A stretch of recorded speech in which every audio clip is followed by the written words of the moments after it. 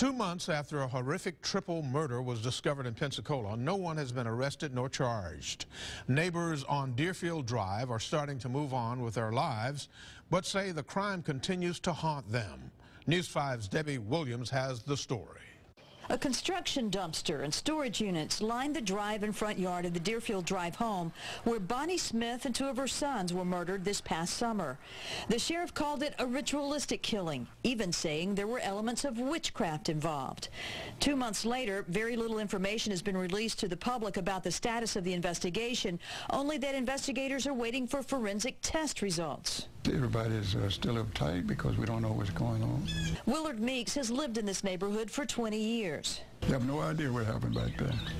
Just wish I did so we could clear it up, but I can't help. There's nothing I can do. Wish I could. In my mind, I said, look like we could clear this up so we could be comfortable. We talked to several folks in the neighborhood who didn't want to appear on camera, who say things are slowly starting to return to normal here in the neighborhood.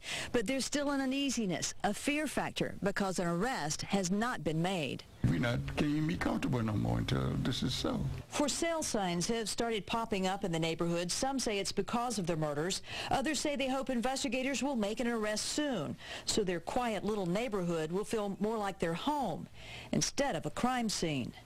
In Pensacola, Debbie Williams, News 5. A spokesman with the sheriff's office says there was an enormous amount of evidence taken from the crime scene. Investigators are still waiting on results of DNA evidence.